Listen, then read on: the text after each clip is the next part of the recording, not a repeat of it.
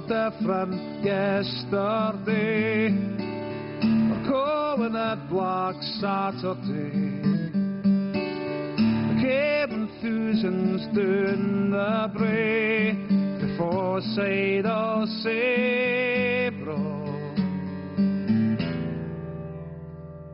And chased their lads away. Imagine yourself back in Musselburgh in the late summer of 1547.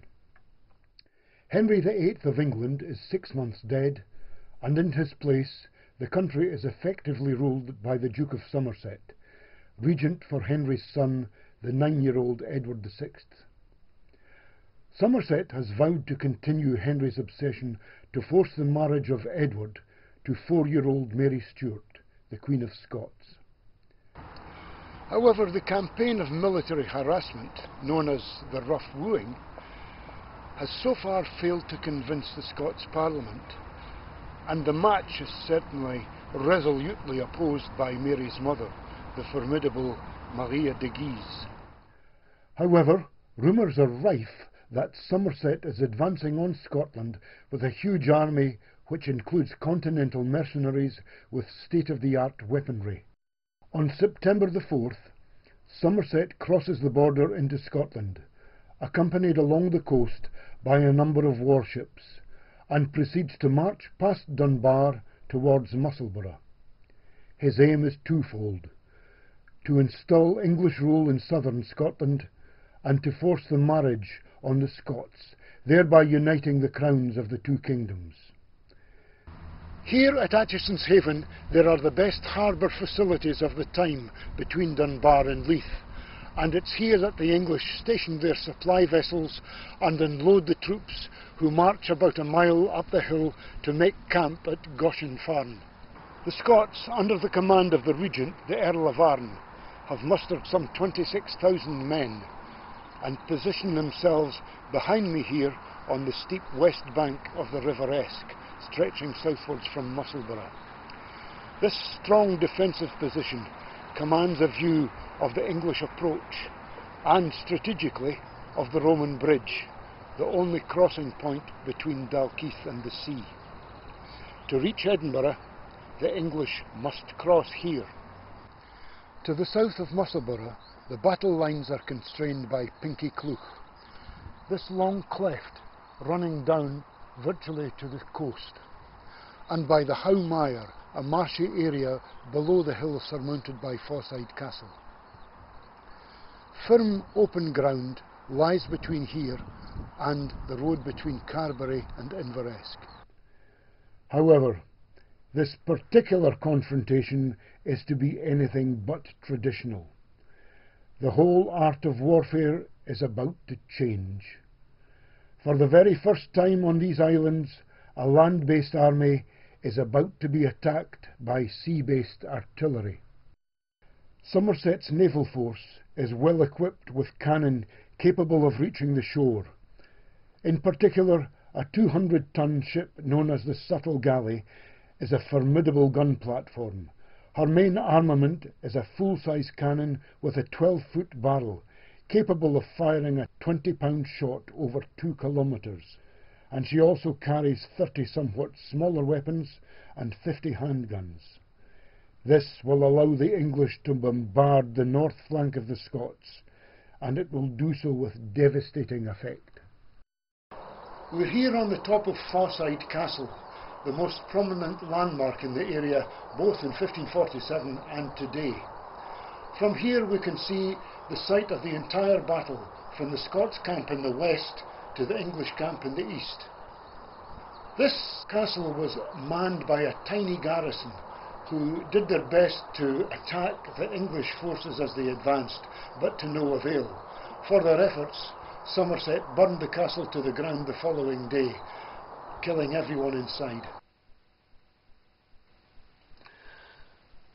We can be fairly certain then that this area here represented the theatre of war between the two armies, with the Scots advancing from the west and the English advancing from their position at Goshen Farm in the east. The day dawns, September the 10th, heavily overcast, the day which will become known as Black Saturday, following the slaughter of 10,000 Scots, most of them fleeing from the battle. The Scots have one artillery position on the east side of the river, on what's later to be known as Oliver's Mount, close to St Michael's Church. It commands a panoramic view of the terrain between the armies, but is inevitably one of the main targets for Somerset to capture. Arran recognises the superiority of the English field artillery and to neutralise its effectiveness and support the position on Oliver's Mount, he abandons his position of strength to advance on the English lines. The Scottish army crosses the river and marches up through Inveresk to confront the enemy. It is at this stage that the offshore galley opens fire from the north on the Scots' left flank. The closely packed pikemen and Highland archers are cut down twenty or thirty at a time. What is left of them tries desperately to move southwards, out of range of the cannon. The troops find themselves mixed up with the middle flank. The ensuing chaos does nothing to help the Scottish commanders. Somerset, alarmed by the Scottish advance to higher ground, throws a hastily prepared cavalry charge against the Scots' right flank, which consists of well-drilled pikemen. The horsemen, without their full equipment, are badly damaged by the Scottish 18-foot long pikes and fall back, but the tactic succeeds in that it halts the Scottish advance. The Scottish pikemen are now exposed and at the mercy of the continental mercenaries with their modern harquebusiers, and also vulnerable to the English archers. Visibility across the battlefield already poor due to the low cloud, suffers further with the smoke of the artillery fire from both sides. Confusion reigns in the Scottish ranks. Some of the most exposed are already in retreat. More and more throw down their weapons, some of these no more than farm implements, and run. The remnants of the English cavalry, still stinging from their earlier mauling, Pursue the fleeing Scots infantry and cut them down as they run. Pursuit is carried on as far as Dalkeith. The river Esk runs red with blood.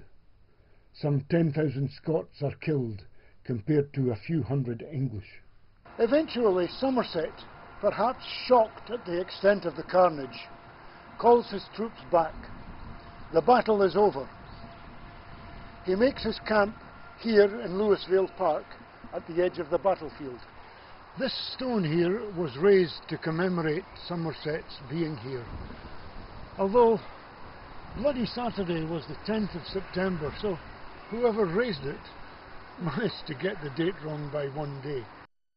It's the last battle, and arguably the bloodiest, ever fought between the two kingdoms. And it's all been for nothing. The infant Mary is smuggled off to France, eventually to marry the young Dauphin. And while the English occupy Haddington and a few other places, they find that the cost of occupation and the constant harrying by the Scots and their French allies is too high. Somerset is deposed and his successor abandons the occupation. The futility of the whole episode is underlined only 56 years later when the kingdoms of England and Scotland are finally united without further bloodshed by the accession of Mary's son, James VI, to the English throne.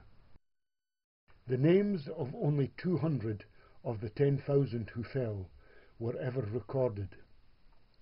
Now, every year on that date, the names of 20 are read out during the commemoration of the battle by the Old Musselburgh Club.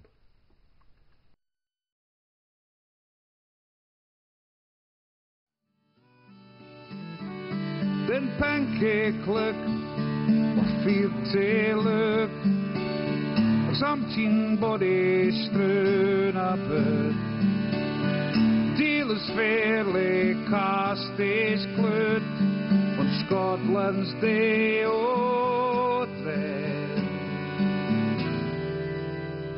When the river is red